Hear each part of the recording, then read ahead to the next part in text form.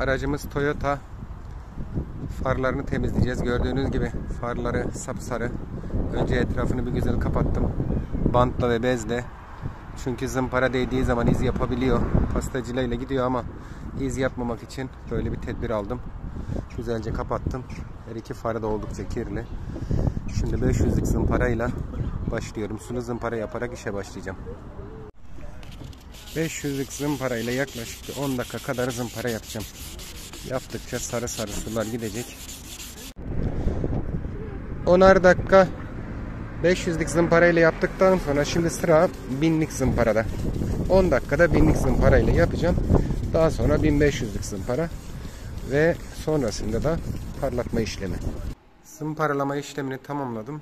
Şimdi sırada buharla açma işlemim var.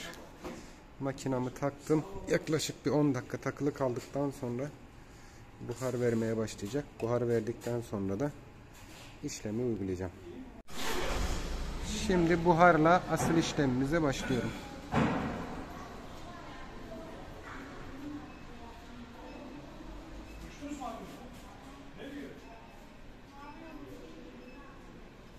Evet gördüğünüz gibi buhar farımızı açıyor ve tertemiz oluyor. Sonucunu birlikte göreceğiz. Her iki farı da açtıktan sonra tekrar döneceğim. Buharla açma işlemimiz devam ediyor. Son aşamasındayım. Oldukça da güzel açıldı. Şu anda gördüğümüz gibi gerçekten son, son aşamaya geldik. Evet Tuncay abimiz son aşama.